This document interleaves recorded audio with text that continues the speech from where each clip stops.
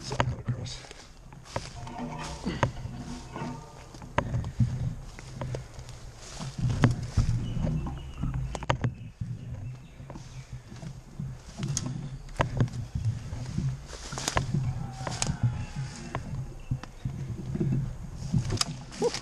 Fuck. Can